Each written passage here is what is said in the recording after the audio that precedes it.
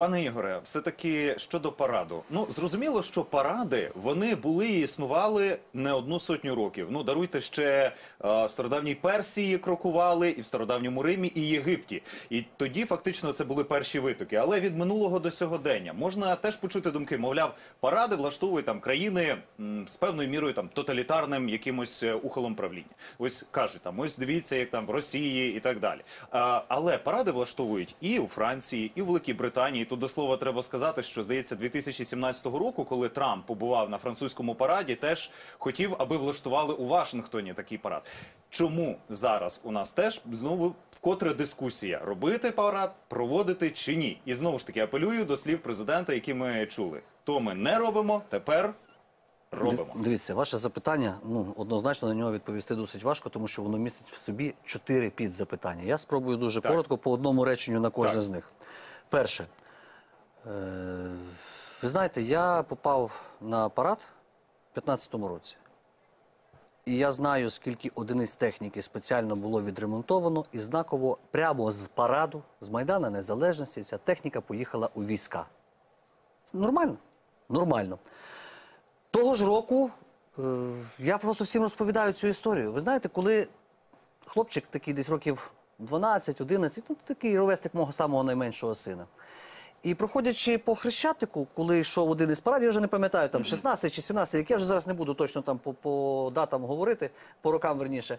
І він такий проходить, і якраз оце техніка, те все, і він такий, але ж ми круті.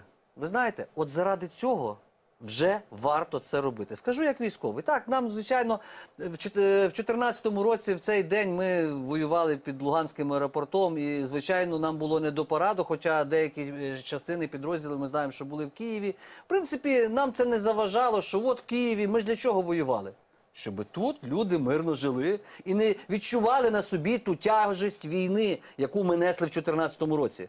Ну, напевно, ми занадто добре воювали, бо дуже багато людей в Києві усталі від війни. Ну, так вийшло. Тепер друга теза. З приводу потрібно чи не потрібно. Ну, ви знаєте, ну коли президент Зеленський став верховним головнокомандуючим, сказав, що він паради відміняє.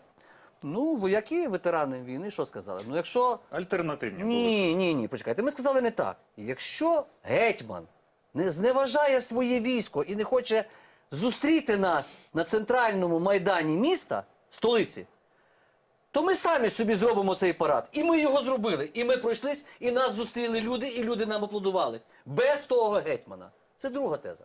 І наостанок. Слухайте, ну 5 мільярдів чи скільки в цьому році виділили на парад? Я розумію, що там під той парад, під шумок, ще без тендерів дуже багато що можна було зробити. Ще раз наголошую: 5 мільярдів чи 100 скільки? мільйонів, так? Фігурувало 100 мільйонів, по-моєму. Ну, якщо ми говоримо про виключно парад чи загалом Ні, усі почекайте. святкування? Про... Верховна Рада проголосувала виділення на святкування 30... е, 30-ї незалежності, якщо я не Ну, це ж не помиляюся, про парад лише. близько 5 мільярдів. Тобто це без тендерів на Ну, але це все з інфраструктурними об'єктами. Ні, які почекайте, теж почекайте. до З цього всього інфраструктурними об'єктами то треба йти на тендер. А тут не треба йти на тендер. Ви трошки, от знаєте, от я, от я дивився уважно цей сюжет. Так от різниця в тому, що якщо ми говоримо про 5,5 мільярдів в порівнянні зі 100 мільйонами, які в минулому році роздавали на премії, то ви уявляєте, які ми сьогодні? То в нас би хлопці на майбах би, е, собі кожен би купував би за ті премії, які би мали би бути. Почули, Тому пане Ігоре. Я закінчую. Це було три речення. Так, Тепер так. четверте, останнє. Останнє, я вам скажу так.